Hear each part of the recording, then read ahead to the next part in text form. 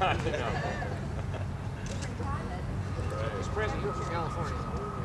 the one brother's headed this way. I hope so.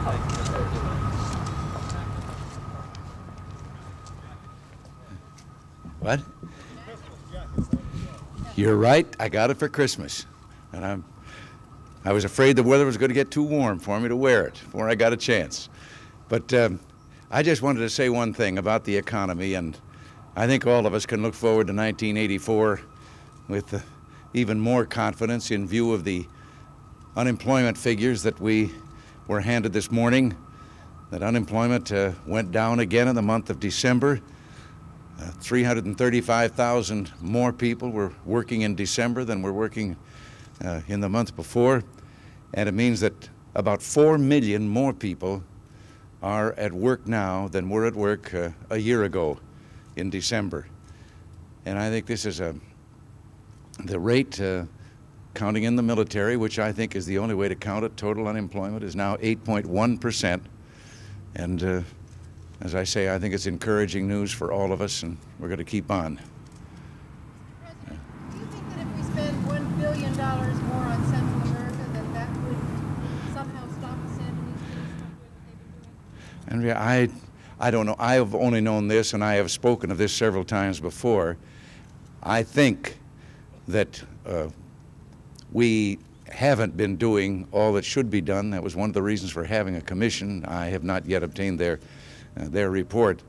But um, solving the social and economic problems, or helping them solve them themselves down there, uh, is essential, uh, just as it's essential that we help provide for their security while they are instituting those, those reforms. And we haven't uh, been allowed to do as much as we should do. So is the Kissinger Group calling for a lot more money? Is that what your understanding is, the Kissinger Group will call for a lot more money?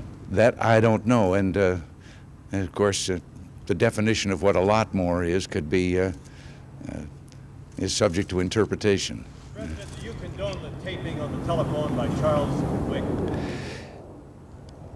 I'm not going to comment further, other than to say that I don't think that Charles Wick is a dishonorable man in any way, and the nature of the things that he was recording, and that uh, I can understand his forgetting sometimes when he was talking to people, particularly that he knew, but the purpose of that was different than it is from someone that is trying to keep a record on other people's conversations. Uh, what he was actually trying to do uh, was be able to immediately transcribe so that he could uh, provide the suggestions that were being discussed to the people that would have to implement them. And uh, I have heard that the, I've heard there are some rumors around. Let me just say this: he has done a splendid job. I think the Voice of America, the whole United States Information Agency, is far superior than to anything that has ever been, and he's going to continue there.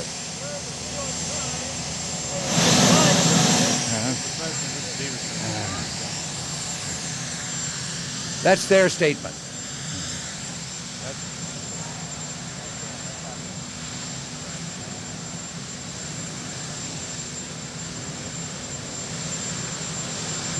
I didn't